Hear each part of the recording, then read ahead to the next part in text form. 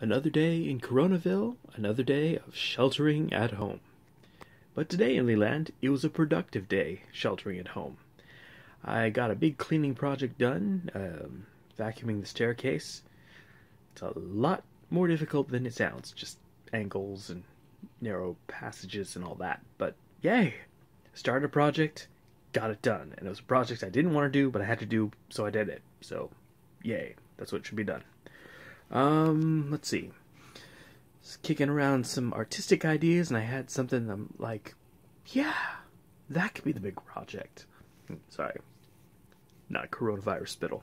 Um, yeah, because I want to make this time at home count and do something big that I haven't gotten a chance to work on. So, something for me to shoot for and be artistically productive.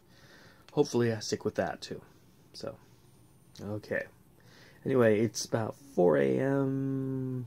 I guess the next day today in Leeland, but yeah, I'm tired, and if I try to reshoot this video over and over to make it perfect with less spittle and less meanderings, then it's just going to be more of a mess. So, I'm going to call it a night. I hope your day was a good one, and I hope tomorrow is an even better one for you. Take care.